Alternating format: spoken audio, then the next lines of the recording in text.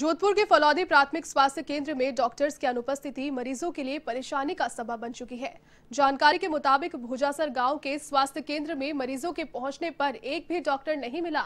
यही नहीं, जब डॉक्टर को फ़ोन किया गया, तब भी कोई जवाब नहीं मिला। वहाँ कई बार मरीजों के साथ अभद्र व्यवहार के मामले भी सामने आ चुके हैं।